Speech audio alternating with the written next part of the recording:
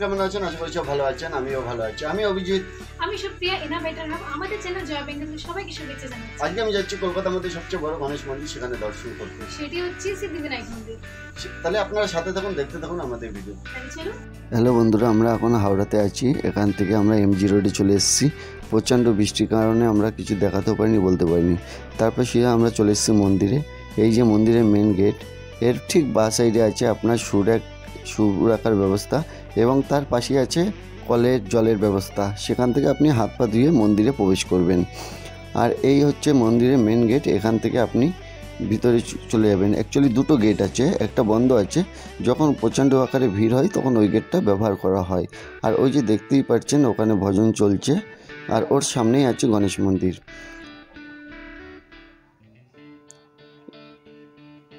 এই যে গণেশ মন্দির, আর তার সামনেই চলছে ভজন। আর তার ঠিক অপোজিটে আছে হনুমান মন্দিরটি। আপনি চাইলে হনুমান মন্দিরেও পুজো দিতে পারেন।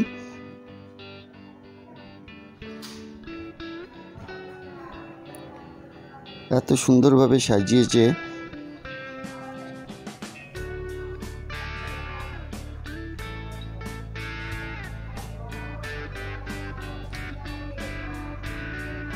মন্দিরটি যত রাত হবে তত আরও আলো সজ্জায় সেজে উঠবে। দেখতে আরও সুন্দর লাগে। কিন্তু আমরা গেছিলাম বিকালে, বৃষ্টির কারণে আমরা তাড়াতাড়ি ঘরে ফিরে এসেছি। নাহলে সন্ধ্যেবেলা আপনারা যাবেন, সন্ধ্যা আরতি দেখবেন, আরও ভালো লাগবে।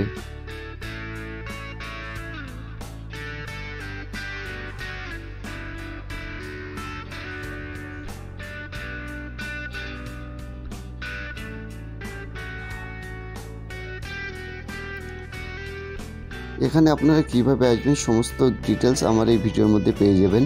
আপনারা যদি হাওড়া থেকে আসেন, তাহলে হাওড়া থেকে যে কোনো বাস আপনি এমজি রোড ধরুন এবং মেট্রোতে এলে আপনারা এমজি রোড মেট্রো স্টেশনে নেমে ওখান থেকে হেঁটে মাত্র পাঁচ থেকে দশ মিনিট লাগবে। আর বাসে আসলে আপনি হাওড়া থেকে এমজি রোড সিগন্যাল মোড়ে নেমে যাবেন, ওখান থেকে দু মিনিট মতো ভিতরেই। ঠিক আপনার মার্বেল প্যালেসের পাশেই। এই যে হনুমানজি মন্দির। এটা কিন্তু ভিতরেই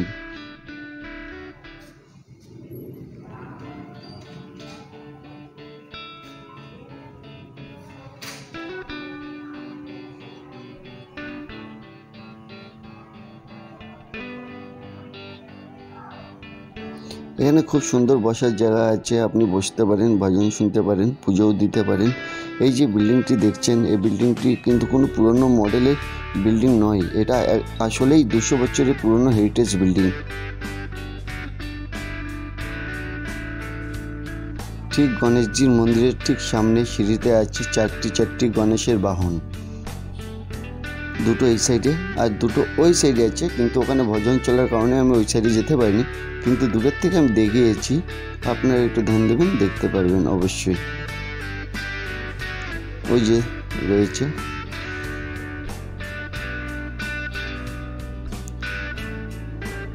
এত সুন্দরভাবে সাজিয়ে রেখেছে বিল্ডিংটাকে বোঝাই যায় না দুশো বছরের পুরনো বিল্ডিং আপনারা অবশ্যই আসুন এখানে, আসলে খুবই ভালো লাগবে।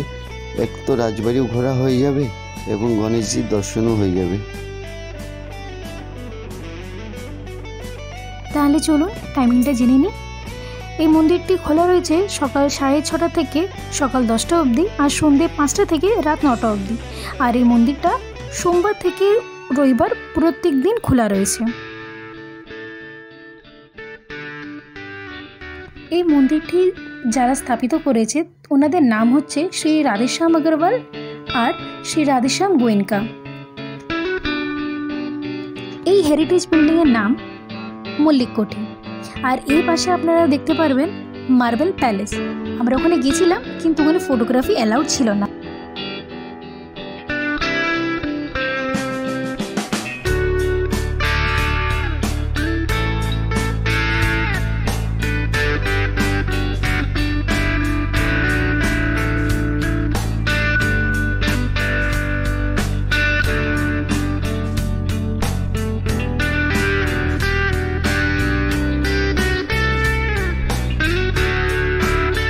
এই ভিডিওটি ভালো লাগলে তাহলে লাইক শেয়ার কমেন্ট আর সাবস্ক্রাইব করতে ভুলবেন না